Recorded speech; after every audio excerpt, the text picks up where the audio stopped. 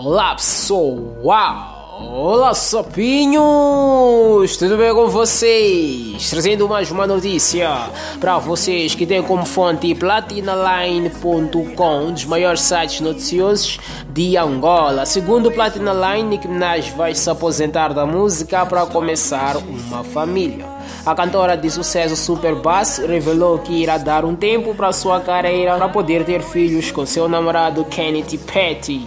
Ela escreveu no Twitter: Decidi me aposentar e ter minha família. Sei que vocês estão felizes agora. Para os meus fãs, continuem me representando. Façam isso até minha morte. Completem as coisas, porque ninguém está me checando. Amo vocês por toda a vida. Sick. Nick, que desde então mudou seu sobrenome nas redes sociais para Patty, havia revelado anteriormente que planejava se casar com Kennedy nos próximos 80 dias.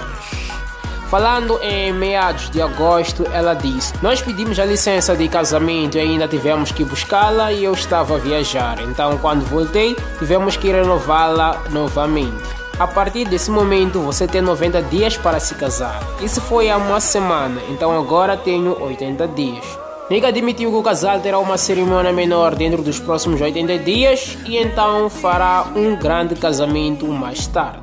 Tenho que trabalhar no meu álbum e tenho muito no que focar, por isso não quero fazer um grande casamento agora. Vamos fazer o grande casamento mais tarde. Mas terei meu casamento depois que o álbum sair. Antes dos 90 dias acabarem, sim. Estou tão feliz porque meu baby me deixa tão feliz. É isso aí, pessoal. Uau! Se você gostou dessa notícia, deixa seu like, seu comentário e compartilhe esse vídeo com seus amigos. Se você não for aqui, inscreva-se no canal, ative as notificações para não perder nenhuma estreia aqui no canal Mori Mortalmente. Tchau!